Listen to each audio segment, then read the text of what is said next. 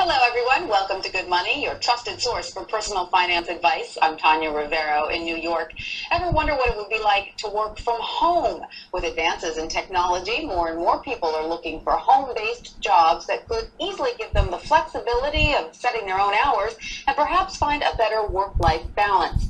It enables you to run your own business, be your own boss, but with the backing of another company that's there because you're selling their products or their services. Wouldn't it be nice if your commute consisted of stepping to the kitchen for a cup of coffee, then into your home office?